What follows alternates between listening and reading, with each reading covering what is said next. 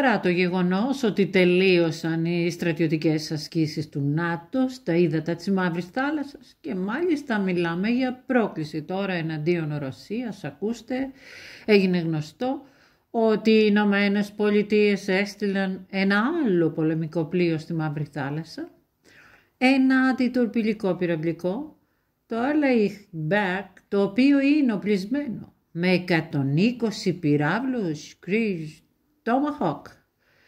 Τι τονίστηκε ιδιαίτερα στη διοίκηση του πολεμικού ναυτικού των Ηνωμένων Πολιτειών; Ακούστε.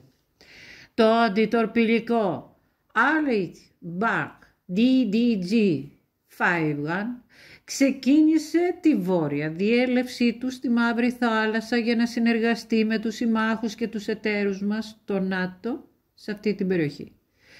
Γρήγορο και επικίνδυνο. Το αντιτορπιλικό Alley Back μπαίνει στη Μαύρη Θάλασσα. Το Alley Back είναι το ηγετικό πλοίο της κατηγορίας αντιτορπιλικών κατευθυνόμενων πυράβλων. Είναι το πρώτο αντιτορπιλικό στον κόσμο που εξοπλίστηκε με όπλικα συστήματα Aegis. Αυτά δήλωσε, ξανατονίζω, η Διοίκηση Πολεμικού Ναυτικού των Ηνωμένων Πολιτειών Αμερικής.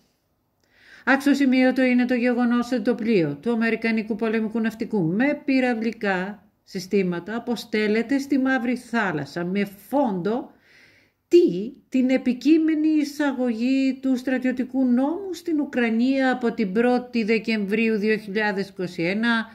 όπως είχε αναφέρει προηγουμένως το πρακτορείο ειδήσεων Αβία Προ. News επικαλούμενο και τον Όλεγ Λαϊασκιου. Αναφέρεται σε αυτά που έχουν ήδη λεχθεί. Οι ειδικοί δεν αποκλείουν ότι οι Ηνωμένες Πολιτείες μπορεί πράγματι να προσπαθήσουν να παράσχουν μια πυροσβεστική υποστήριξη στις ένοπλες δυνάμεις της Ουκρανίας με κάποιο πυραυλικό πλήγμα στις θέσεις κατά μαχητών Ντομπάς. Είδομεν πάρα πολύ σοβαρά άγρια τα ζητήματα εκεί. Για έγκαιρη και έγκυρη ενημέρωση, κοινοποιήστε τα βίντεο και εγγραφείτε στο κανάλι. Η αλήθεια πάση θυσία εδώ. Με ακούτε μετά από έξι ημερόνικτα από παραβιάσεις και των δύο καναλιών μου. Ήμουν στα τάρταρα.